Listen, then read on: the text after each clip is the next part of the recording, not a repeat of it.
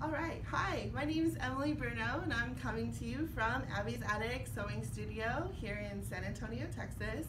And we're gonna talk about batting.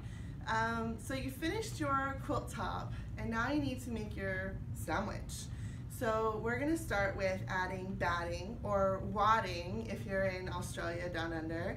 Um, this goes inside your sandwich. So you have your beautiful quilt top that you spent hours of loving hours building and then we're gonna add our batting, which goes in the middle to make it fluffy, warm, and cozy.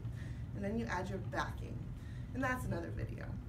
Um, but we're gonna go over some of the terms that you'll see in the store um, and determine kind of what's gonna work for you and your project. So you'll see a word called loft, L-O-F-T, and that's gonna determine the thickness of your batting, and each batting is a little bit different, so we're gonna go over that. You're gonna have a low loft, and that's going to be a real thin batting um, and not a whole lot of texture to it, but it's going to have a nice soft, drapable quality to your quilt once it's all done. A nice smooth and flat quilting. Um, a medium loft is going to add a little more texture, a little more puffiness, and a little bit more warmth because that holds that warmth inside um, all of that air. And then you're gonna have a high loft, and that's gonna also show a little bit more of the dimension and uh, fluffy quilting texture um, in the end when you're finished with your project.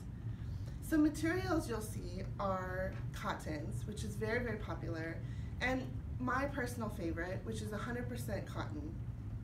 Um, one, because uh, by choosing 100% cotton, everything will wash and shrink the same throughout the whole quilt.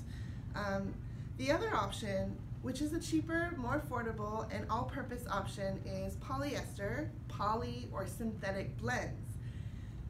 For instance, some packages come with a blend of cotton and polyester to create those um, characteristics of what we like to see in quilting. Puffy, a little bit warm, a little bit cozy, and all of those things um, make those packages of quilting work out great.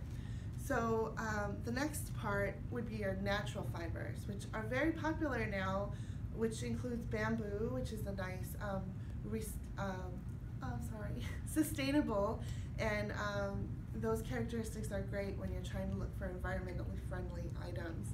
And then um, also wool. Wool is a very warm um, product, also creates a lot of dimension in quilting and a lot of um, high-end quilters and people that are putting out showpieces are choosing wool for their quality and puffiness. So um, your next um, option would be to layer. You can layer two layers of batting to create the puffiness that you want. So it really just depends on your project. Your um, the next quilty trick that I want to share with you is now they're creating batting that has a fusible uh, um, glue on both sides. So you have an easier way to baste quick and fast. And when you're using your home domestic machine, it goes really quick and it washes out after you wash it. So some of the questions that you might come across when you're at your quilt shop or your fabric store is, um, how many inches apart do I need to, to sew and quilt this together? So on each product, you're gonna wanna look at the packaging and the details on, on each packaging. For instance, this one, you wanna make sure you get a 10 inch apart um, quilting. In this 100% batting, it, it explains that you need to be two to four inches apart.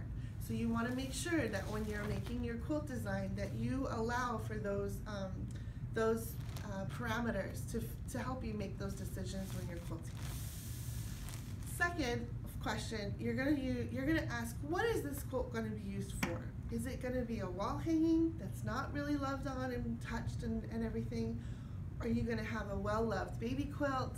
Is it gonna be washed a lot? These are questions that you're gonna have to look at because in the in the long run, your your cotton is gonna maybe shrink a little bit. Your um, poly polyester batting may not shrink as much, but it may create a different look. So you'll want to play with that and ask, ask yourself those questions before you make those decisions and you're buying your batting. And then your last question would be, um, the, the coloring. You've got a bleached white here, this is very white, and you've got more of a natural color um, batting here, but they also sell black batting.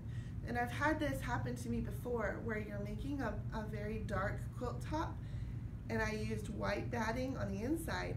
Sometimes when that needle goes down and makes those quilt, um, quilt designs, you're gonna see little puffs of white come through. So they made a black batting to combat that problem, but also just keep that lint roller handy and clean up those fuzziness. So are you ready to get quilting? I think you are. You can always visit us at Abby's Attic Sewing School.com and give us a call if you have any questions. Thank you. Have a good day.